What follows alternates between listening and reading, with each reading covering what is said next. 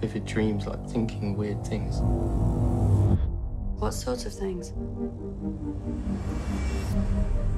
We're gonna be a hit factory, like Motown, but for computer games. You heard it here first. Bandersnatch. It's an adventure game based on the book. Jerome F. Davies was a genius. See that bloke who went cuckoo and cut his wife's head off? When it's a concept piece, a bit of madness is what you need.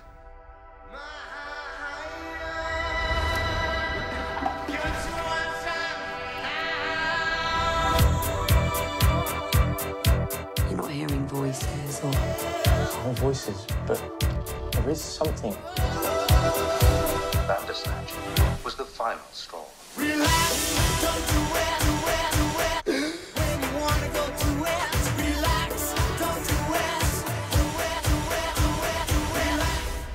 It lets you see the bigger picture.